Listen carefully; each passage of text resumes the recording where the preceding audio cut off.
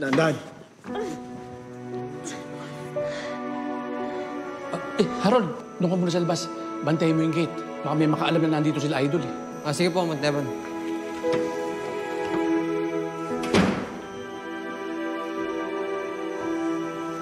Uy, nagsasapatos ka na. Bawal yan. May pilay ka. Okay lang to. Titiisin ko na lang. Kaya nyo, Aling Pilar. Kung matigas ang ulo, pabayaan. Paano man niya mananakit eh. Sir Cardo, pasensya na ha. Pero matatagalan ba kayo dito? Kasi parating na yung may-ari eh. Pulis yun. Baka mahuli kayo.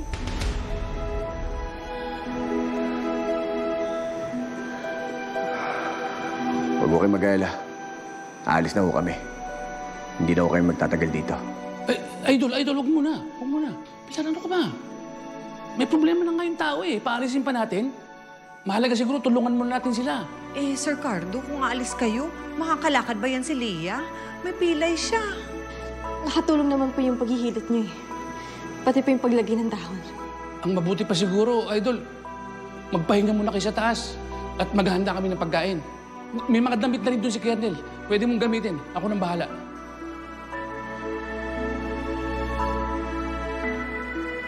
Tara, para makapagpahinga ka.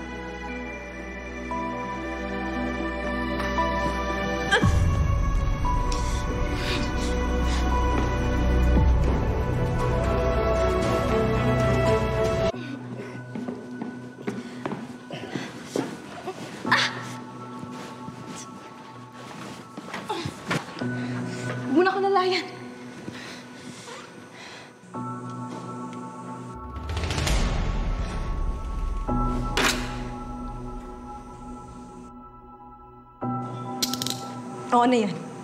Pupusasan mo na naman ako? Hindi mo ba nakikita yung sitwasyon ko? Hirap na hirap na ako. Hindi na ako makalakad eh. Wala akong tiwala sa'yo. Kapag isang beses ka pang tumakas, tutuluyan na kita.